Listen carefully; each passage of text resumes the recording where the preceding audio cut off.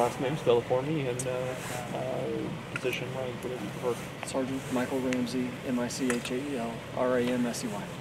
All right. So, long story short, what happened here tonight? Uh, Officers were called out here about 8:30. There was a disturbance here at the address. Um, there was an assault that occurred. A couple of individuals uh, were assaulted.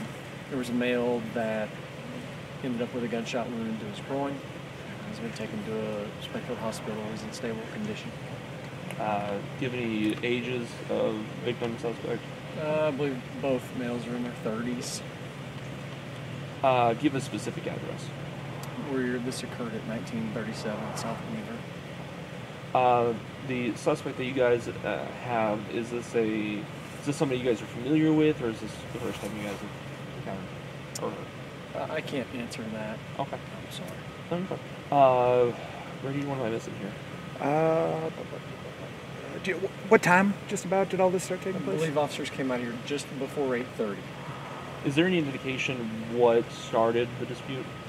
I'm not sure exactly what started it. Um, for whatever reason, the individual that lives here obviously was in some type of disturbance with another male that showed up. Uh, a lot of neighbors standing outside. Has anybody spoken to you? Has anybody provided you any extra information?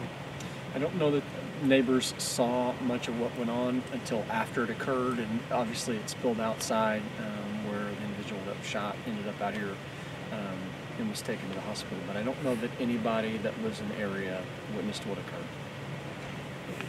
Uh, Sergeant, is there anything that you'd like to add that I didn't ask about? Not that I can think of. All right. Thank you. Sir, for me up. is there more than one uh, person detained at this moment?